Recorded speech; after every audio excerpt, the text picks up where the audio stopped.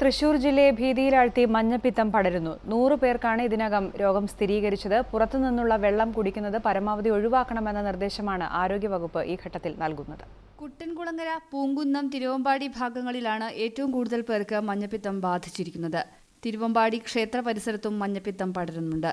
തൃശൂർ നഗരസഭാ പരിധിയിലെ കടകളിൽ നിന്നും വെള്ളം വാങ്ങി കുടിച്ചവരാണ് ഭൂരിഭാഗവും. ഒല്ലൂരിലെ വിവാഹ സൽക്കാര ചടങ്ങിനിടെ ശീതളപാനീയം കുടിച്ചവർക്കും രോഗം ബാധിച്ചു. കഴിഞ്ഞ ഒരു മൂന്നാഴ്ച കാലമായിട്ട് അത് തുടർച്ചയായി കേസുകൾ വന്നുകൊണ്ടിരിക്കുന്ന ഒരവസ്ഥയാണ് മൊത്തം നമ്മൾക്ക് നൂറ്റി പതിനഞ്ചോളം കേസുകൾ ഇപ്പോൾ തന്നെ കൺഫേം ചെയ്യപ്പെട്ടിട്ടുണ്ട്. ഒരു ഔട്ട് ബ്രേക്കിൽ ഐസിന്റെ ഒരു പ്രസൻസ് നമ്മൾ കണ്ടിട്ടുണ്ട്. അതായത് കൊമേഴ്ഷ്യൽ ഐസിന്റെ പ്രസൻസ് നമ്മൾ കണ്ടിട്ടുണ്ട്.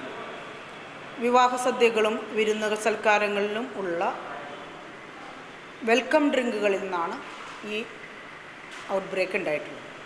രോഗം പടരുന്നത് തടയാൻ കർശന നിർദ്ദേശങ്ങളാണ് ആരോഗ്യവകുപ്പ് പുറപ്പെടുവിച്ചിരിക്കുന്നത്. വെള്ളം നമ്മൾ ഉപയോഗിക്കുന്നത് തിളപ്പിച്ച് ആറ്റിയതാണെന്നുള്ളത് ഉറപ്പുവരുത്തുക എന്നുള്ളതാണ് ഏറ്റവും പ്രത്യേകത.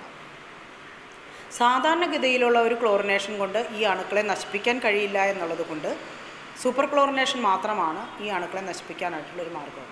വ്യക്തി ശുചിത്വം പാലിക്കുകയും അസുഖം പടരാതിരിക്കാൻ മുൻകരുതൽ സ്വീകരിക്കുകയും വേണമെന്നും ആരോഗ്യവകുപ്പ് നിർദ്ദേശിച്ചു. ഏഷ്യാനെറ്റ് ന്യൂസ് തൃശൂർ.